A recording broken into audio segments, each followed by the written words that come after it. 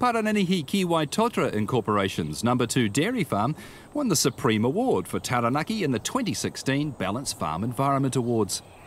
It's another indication of where the Māori Incorporation is positioning itself in the agribusiness sector. PKW Chair Hinerangi Raumati explains.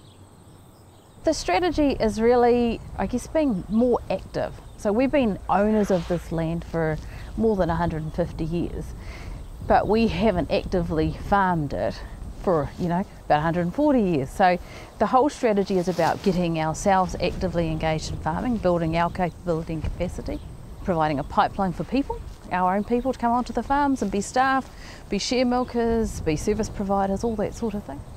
It's actually a really long journey right?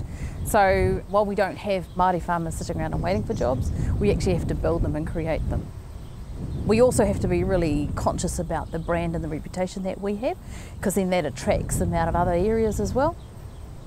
Our ratio of Māori staff to all of our staff is just under 50%. So we keep an eye on that. We don't recruit specifically for it, but we keep an eye on it just to see that we are achieving those longer term goals. We're actively involved with land based training. Uh, and that's a venture that's been going for about a year now with us. So they are um, have a Māori, Māori Pacific Trade Trainings program. And so we're helping them find students to go on that program that help meet us need, our needs. Those that, that training program then connects back to some of our farms, and when students need real live uh, farming experiences, then they can come on our farms and, and get that. The environment is important to us. It actually sounded like a bit of a cliche as I said it. But as Māori and as the biggest Māori commercial entity in this region and the biggest farmer in this region, we think we have to take a leadership role. And so what we're focused on are our effluent systems, stocking levels, the amount of inputs that we have on farm, and our riparian planting. And some of the activities that we can do that help contribute to minimising the impact of farming on the environment. The Ballance Farm Environmental Awards, I guess they play two roles for us, those sorts of competitions. And one is to actually put some challenge, give some challenge to our farmers, our people on the uh, on the ground, and let and get them to think critically about the way that they operate the business. And then the other component of it is actually to, to play that leadership role, to put ourselves at uh, in the public eye and say yes, we're doing a good job in this area on this farm. And uh, it becomes a bit of a role model. It becomes a bit of a sign to other people and other people within our teams as well.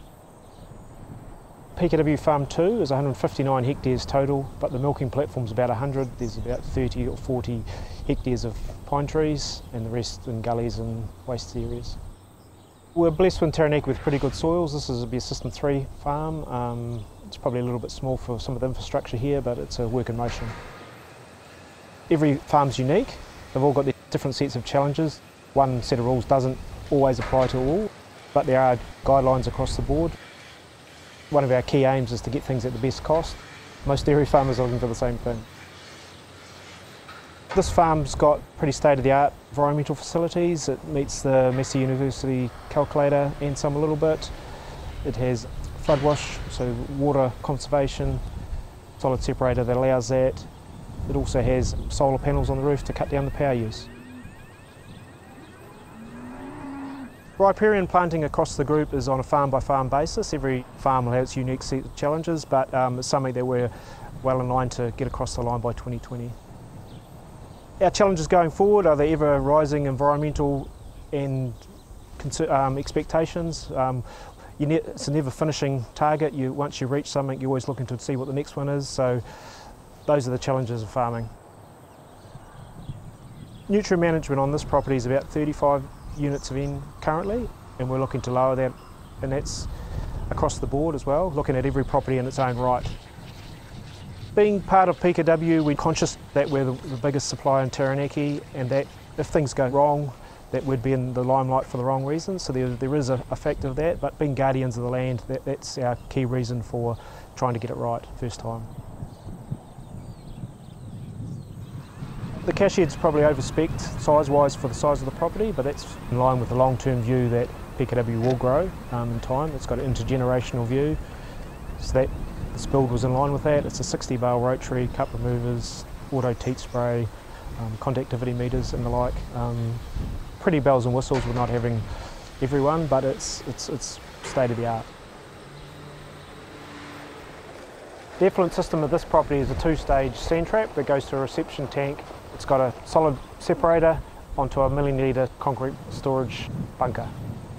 It does provide a degree of future proofing for the herd size to go up as well. We've got 36 hectares via a Williams irrigator. The solids get spread primarily on the um, cropping paddocks twice a year or as required when the bunker gets full, spread by a local contractor. When you've got very good infrastructure like this, it does give you a degree of flexibility, but it's still down to the operator. The operator's still got to observe. You can put all the technology you like into a system, but it comes back to the, to the people, the people that run the system. They've still got to oversee the, the, the operation of safe operation of the system. It is a difficult time for dairy. It's been a long two, three years now. We're probably more focused on optimising what we've got at this stage. There will still be expansion opportunities. We'll probably look more towards property that sits beside a farm that we're operating at the moment. We've got some strategic footholds in some of the other areas around Taranaki, but um, probably more focused on ourselves internally and getting the systems and the infrastructure right.